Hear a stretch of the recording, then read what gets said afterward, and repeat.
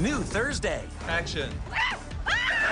Everyone's excited about Penny's big break. No reason why I shouldn't be the best bisexual go-go dancer transforming into a killer gorilla anyone's ever seen. It's the biggest second to last new episode of the season. Thanks for coming with me. Thanks for inviting me after everyone else said no.